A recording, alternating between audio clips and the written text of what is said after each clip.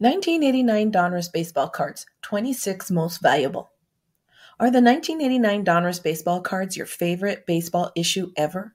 Well, if you said yes, hmm, you might be alone in that opinion. The good news in that case would be that you won't have much trouble laying your hands on plenty of these beauties, because the truth is, 1989 Donruss was produced in huge quantities that makes them pretty easy to find even 30 years on. But that doesn't mean every 1989 Donruss baseball card is worthless. In fact, the cards next can fetch decent prices on eBay, provided that you're aiming for copies in top notch graded condition. Without further ado, then, here is a rundown of the most valuable 1989 Donruss baseball cards based on actual sales prices for PSA 9 specimens. Number 26. 1989 Donruss Robin Yount, number 55. Robin Yount sort of slid into the background among his fellow superstars after the glow of his 1982 MVP campaign wore off. All that changed in the summer of 1989, though, when Yount, having moved from shortstop to center field, once again put up a monster season that eventually landed him more MVP hardware. It was enough to get his cardboard moving again as collectors realized that this man was headed toward 3,000 career hits and the Hall of Fame. Value 5 to $10. Number 25. 1989 Donruss Bo Jackson, number 208. Bo Jackson could pretty much do whatever he wanted on the baseball diamond once he set his mind to it. So Donruss went with him, sneaking around for a bunt attempt. Not exactly awe inspiring or majestic, but different at least. Value 8 to $10. Number 24. 1989 Donruss Kirby Puckett number 182. After helping the Twins to a World Series title in 1987, Kirby Puckett upped his personal game in 1988, batting 356 with 24 home runs and 121 RBI. Suffice it to say, Puckett was one of the most popular cards in the 1989 set, and he nailed down that honor by winning his only American League batting crown that summer. It was one more step on the path to his Hall of Fame and hobby immortality. Value 8 to $10. Number 23. 1989 Donruss Roberto Alomar, number 246. The son of a former major leaguer and the brother of a top-notch catching prospect, Roberto Alomar entered 1989 season fresh off a solid rookie season with plenty of hype surrounding him. He'd eventually pretty much live up to expectations, crafting a Hall of Fame career and ensuring that his cards maintain a strong collector base for decades to come. Value 8 to $10. Number 22. 1989 Donruss Mark McGwire, number 95. You don't hit 49 home runs as a rookie without causing quite a stir among collectors. But Big Mac didn't just stir the hobby, he toppled the whole darn apple cart on the strength of his Ruthian home runs and sun hot rookie cards from 1985 to 1987. And even though his power took a step back in 1988, his cards were still huge deals when the 1989 set debuted. They still are, regardless of the PED stain that seems likely to keep them out of the Hall of Fame forever. Value 8 to $12. Number 21. 1989 Donruss Jose Canseco, number 91. Canseco saw a big hunk of his limelight sucked up by his rookie teammate Mark McGwire in 1987, but he didn't let that get him down.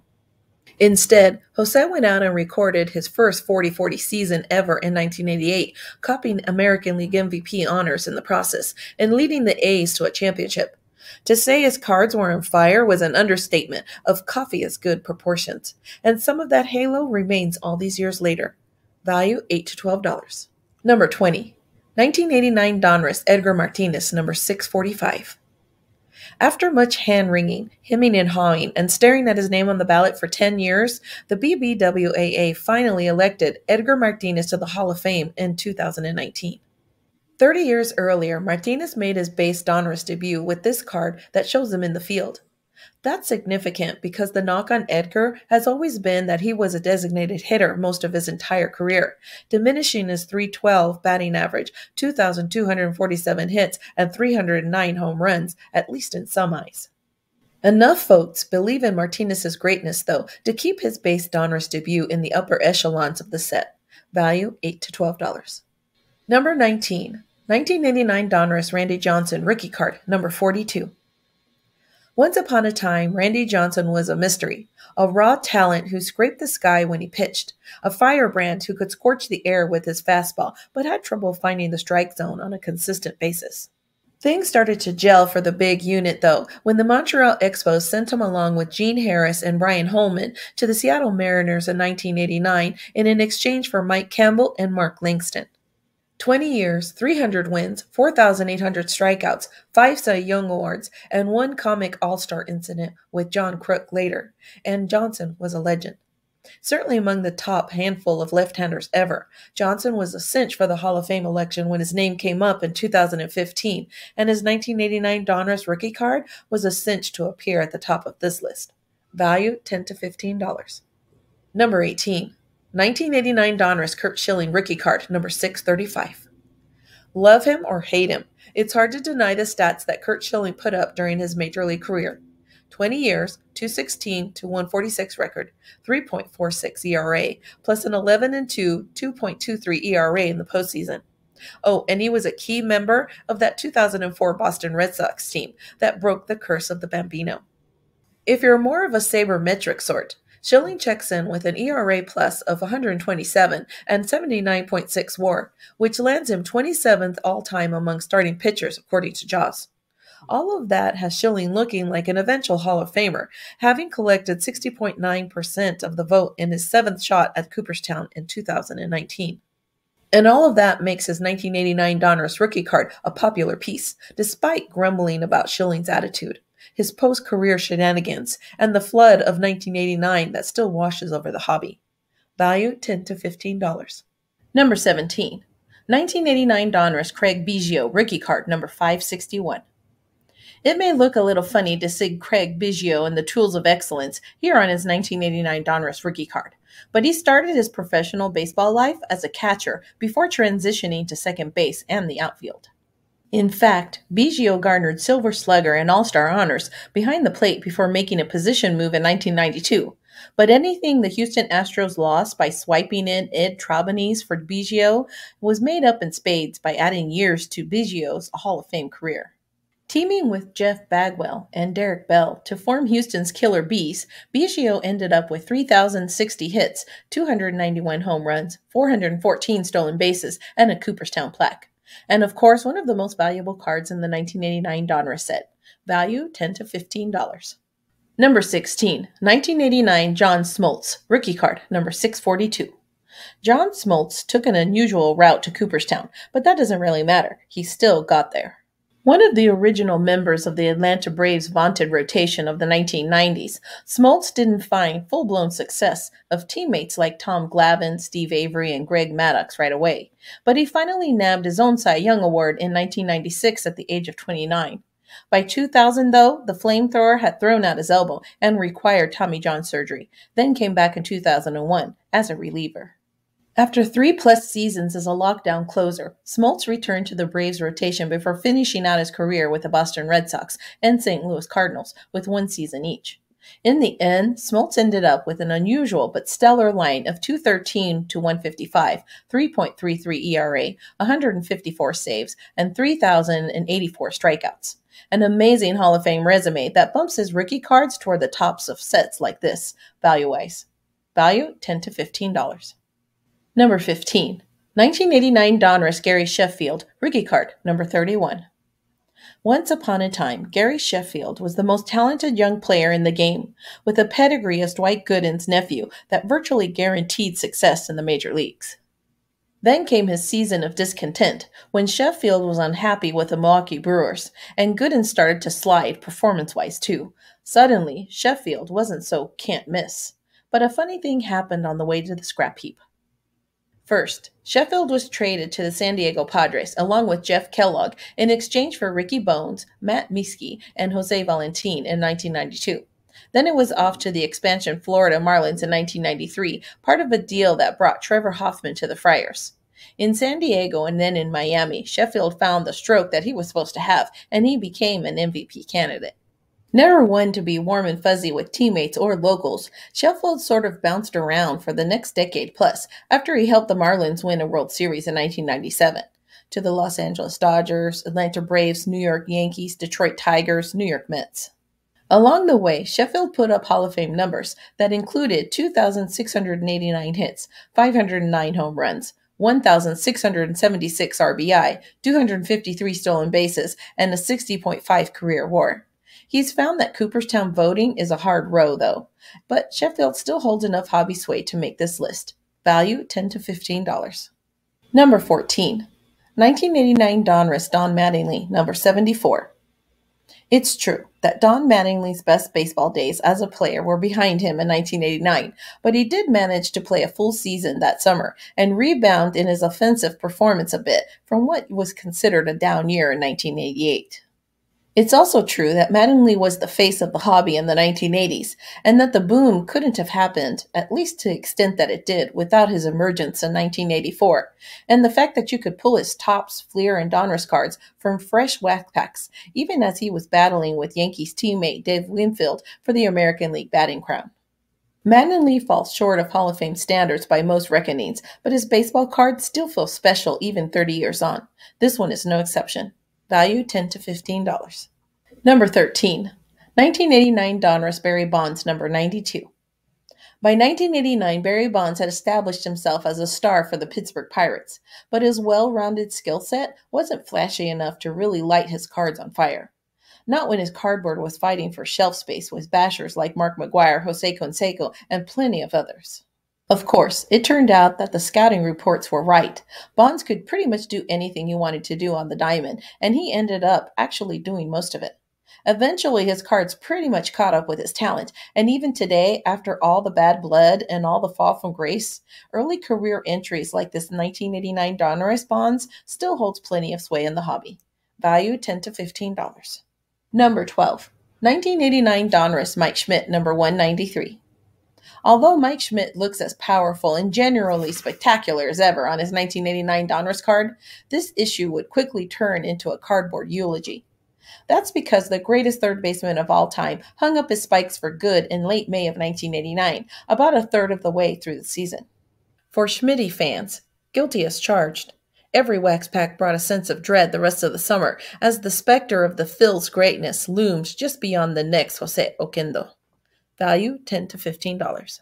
Number 11. 1989 Donruss Rickey Henderson, number 245. Rickey Henderson returned to the Oakland A's for the 1989 season, which makes this Donruss card one of the last to feature him with the Yankees.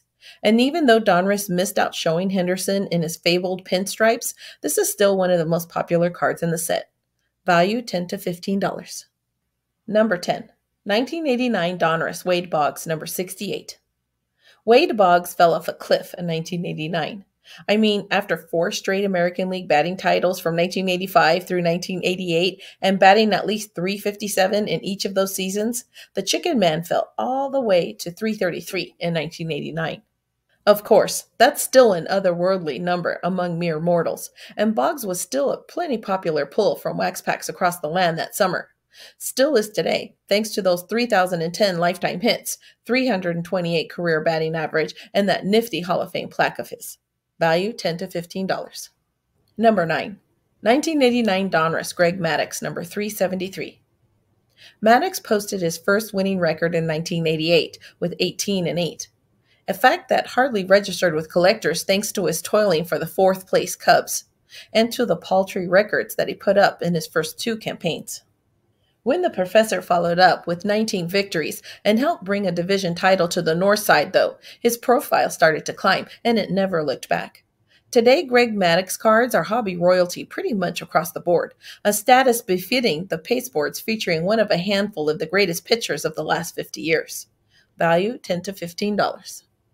Number 8. 1989 Donruss Tony Gwynn, number 128. After a jaw dropping 370 batting average in 1987, Tony Gwynn slid all the way to 313 in 1988 and still won a batting title. He'd win another 336 in 1989 on his way to eight total crowns, 3,000 plus hits, and a place in history as the Padres legend and a Hall of Famer. Not surprising then that this mid career card, like pretty much all of Mr. Padres cards, makes the cut on our list. Value 10 to $15. Number 7. 1989 Donruss Don Mattingly, Diamond King, number 26. Everything that goes for the base Mattingly card goes for his Diamond King too. This was Mattingly's second Diamond King. 1985 was the other, and it's another Dick Bettis masterpiece. We couldn't get enough of Mattingly in the 1980s, though, so no one was complaining about the extra Donnie baseball card, and this one still brings interest on eBay and other venues. Value 10 to $15. Number 6. 1989 Donruss Ozzie Smith, number 63. You could make an argument that Ozzie Smith was in many ways the face of baseball in the 1980s. Here you had a guy who redefined defensive play at a position already known for fielding prowess, and a key member of the perennial contenders and frequent champs of one sort or another in St. Louis. Ozzie even upped his offensive game as the decade proceeded, leaving no doubt that he'd eventually take his rightful place in Cooperstown. So, all in all, how could the last Donruss card of the Wizard from a decade he helped define not make our list? Value 10 to $15.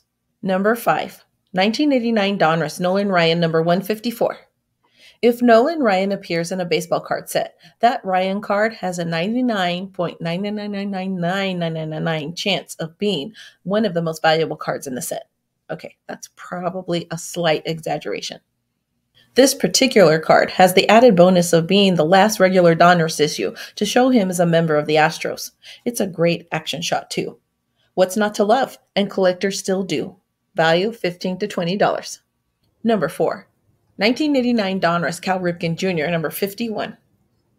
The Orioles of the late 1980s were terrible, and that taint extended even to their franchise icon.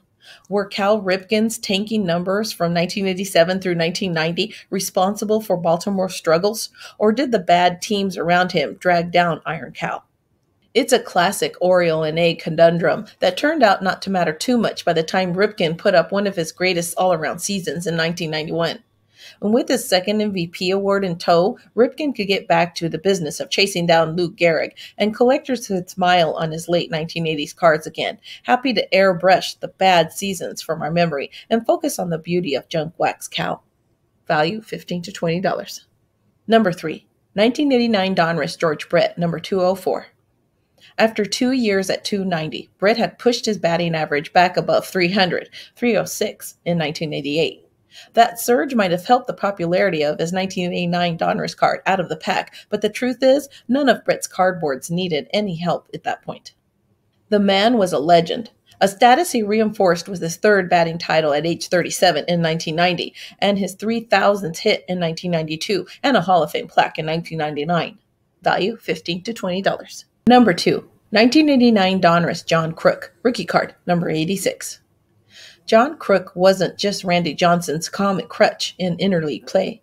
Indeed, for most of his 10 year big league career, Kruk was a constant threat to hit 300, and he crafted his exit to make sure he landed exactly on that number. Along the way, though, stops with the Padres, Philadelphia Phillies, and the Chicago White Sox, Kruk also showed some power, finishing with 100 home runs among his 1,170 hits. He was also a key member of that 1993 Phils crew that made it all the way to the World Series, only to be dispatched by Joe Carter's historic Game 6 homer. Still a popular analyst, Kruk is also a college baseball coach who maintains a high enough profile to keep his cards on lists like this one. Value 15 to $20. Number 1. 1989 Donruss Ken Griffey Jr. Rookie card, number 33. Anytime you see the words Ken Griffey and Jr. and rookie card in a card description, you can be sure it's going to sit at the top of the value heap for whichever set it's in. The 1989 Donruss Jr. rookie is certainly no exception. The only question surrounding Griffey when he retired was whether he'd be the first ever unanimous Hall of Famer. The fact that he didn't quite clear that bar, even though Mariano Rivera did in 2019, doesn't diminish Griffey's hobby cachet one whit.